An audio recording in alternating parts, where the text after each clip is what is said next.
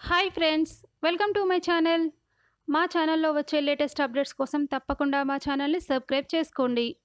ప్రేక్షకులను ఎంతో ఆకట్టుకున్న నాగభైరవి సీరియల్ ఈ ఆగస్టు ఇరవై ఒకటిన ముగిసింది.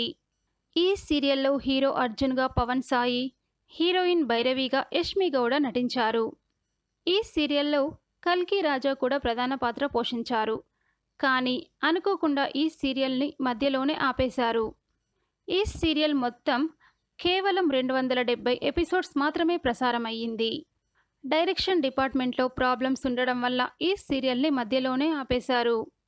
ఈ సీరియల్ కోసం చాలా బడ్జెట్ ఖర్చు పెట్టారు. కానీ ఈ సీరియల్కి అనుకున్నంత టీఆర్పీ రాకపోవడం వలన డైరెక్షన్ టీం ఈ సీరియల్ని మధ్యలోనే ఆపేసింది.